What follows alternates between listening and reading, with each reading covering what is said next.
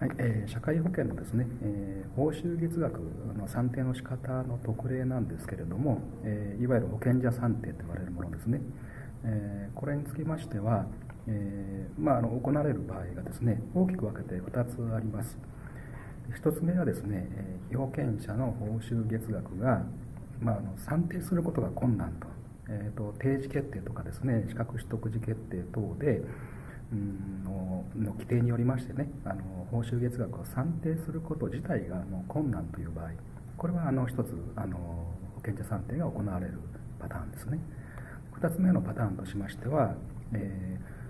ー、まあ、定時決定とか資格取得時決定とかあるいは随時改定ですね、えー、そういったもので、うん、報酬月額を算定することはできるんだけれども、えー、その算定した額がですね、え著しく不当な場合